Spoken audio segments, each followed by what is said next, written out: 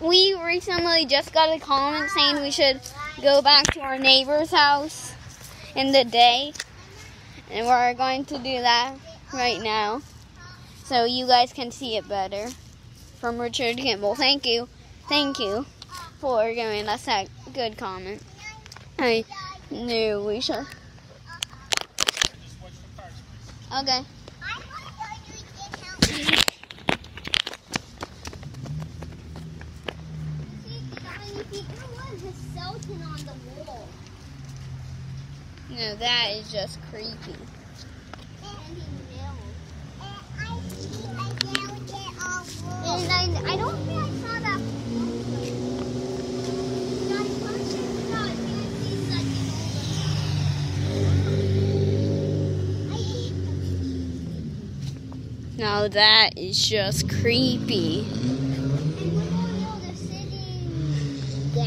did it?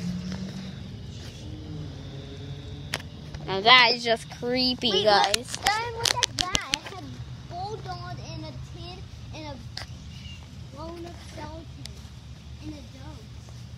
And what is that skeleton?